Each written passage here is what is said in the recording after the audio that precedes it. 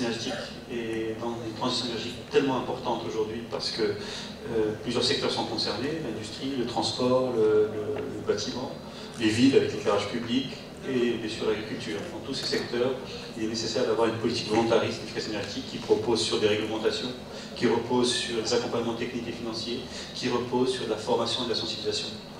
Ici, nous sommes aux rencontres Africa 2019. Plusieurs thèmes sont présentés aujourd'hui dans le thème de l'énergie. Dans le thème de l'énergie, notre pays montre son savoir-faire, public et privé, avec la politique menée et portée au plus haut niveau de l'État, la priorité aux énergies renouvelables et à l'efficacité énergétique, les agences dédiées, Mazen et l'AME, mais aussi avec un volet secteur privé important.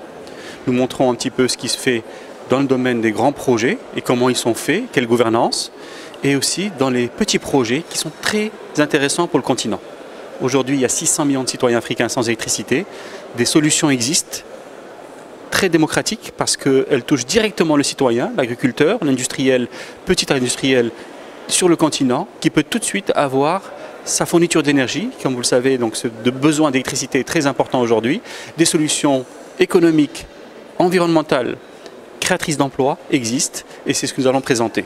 Nous montrons aussi qu'aujourd'hui les acteurs privés sont importants et l'AME avec ses conventions avec les différentes agences du continent, mais aussi avec son centre de formation à Marrakech qui accompagne pour qu'il renforce les capacités dans ce domaine. Il est très important que les jeunes Africains aussi soient formés pour pouvoir installer, pour pouvoir dimensionner correctement tous ces nouveaux systèmes qui amèneront l'électricité à tout le monde.